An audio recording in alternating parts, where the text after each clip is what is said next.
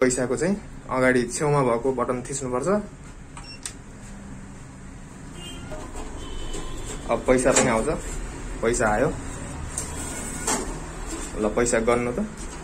अनि यहाँबाट printed advice भनेको बिल।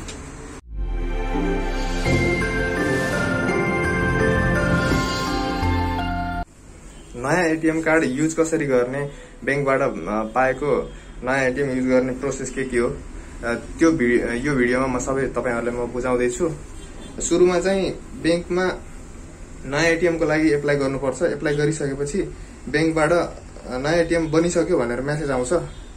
मेसेज यस प्रकारको हुन्छ। Your card has been ready please visit the requested branch to collect it भनेर आउँछ। अनि त्यो आइसकेपछि हामी ब्याङ्क जानुपर्छ। अब हामी माथि ब्याङ्क छ। हामी माथि ब्याङ्कमा जाउँ अनि त्यसपछि त्यो एटिएम ल्याएर युज गर्ने प्रोसेसमा सिकाउँछु।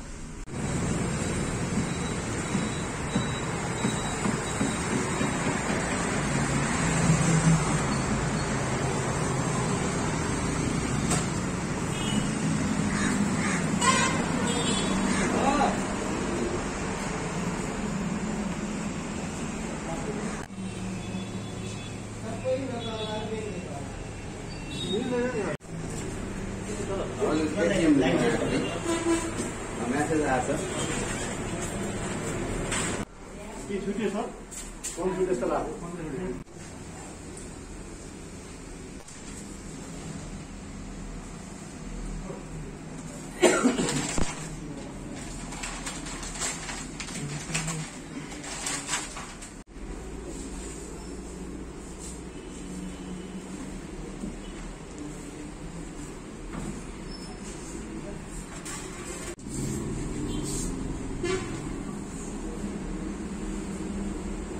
जस्तो लाग्यो म जस्तै अन्त सर्टकट गरेँ त ल ल ठिक छ यसमा अट्दैन त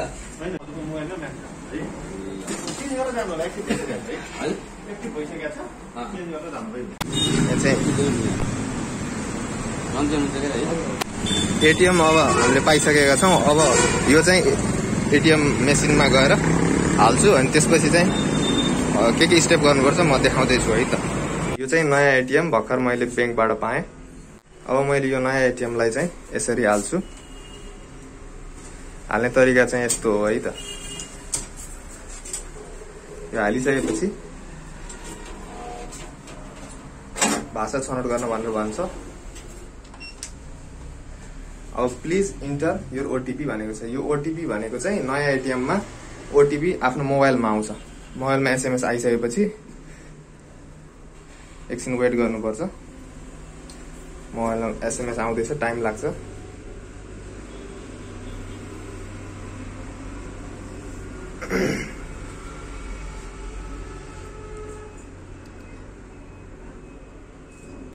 धेरै टाइमपछि बल्ल ओटिपी आएको छ होइन?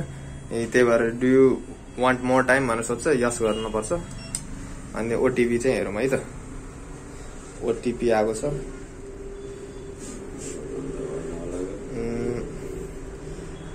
ओटिपी आएको छ म ओटिपी हाल्छु। ओटिपी भनेर दिएको छ।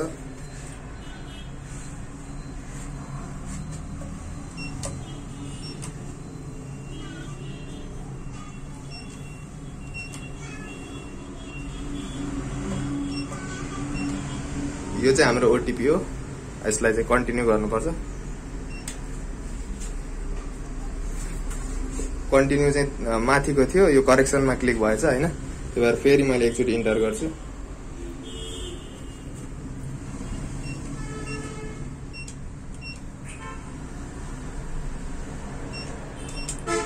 करेक्सनको तलको भयो कन्टिन्यूको माथिको भयो।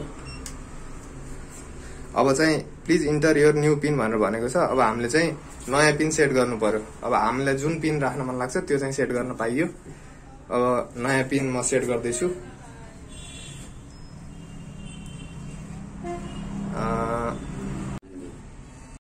म नयाँ पिन राख्दैछु।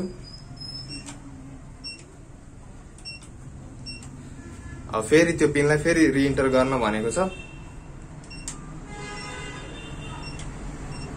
यति गरिसकेपछि हामीले congratulation you have successfully change your PIN please memorise your new PIN भनेको छ अनि हाम्रो एटिएम कार्ड बाहिर निस्केको छ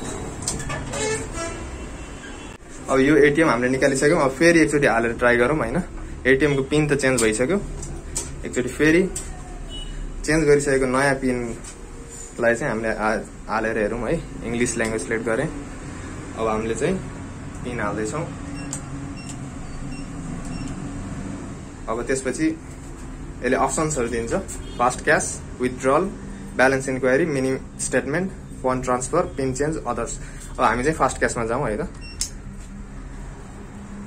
फास्ट क्यासमा चाहिँ प्रिन्टेड एडभाइस चाहिन्छ कि नै भनेर भन्छ होइन? एउटा बिल निकाल्नु त्यो यस भनिदिउँ पैसा चाहिँ कति झिक्ने हो? त्यति झिक्ने पैसाको चाहिँ अगाडि छेउमा भएको बटन थिच्नुपर्छ।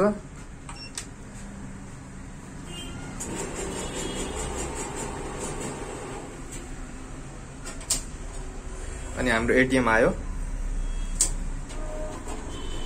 अब पैसा पनि आउँछ। पैसा आयो। ल पैसा गर्नु त। अनि यहाँबाट प्रिन्टेड एडभाइस भनेको बिल। बिल पनि आयो। यसरी चाहिँ हामीले एटिएम नयाँ एटिएम लिएर एटिएम युज गर्न सकिन्छ।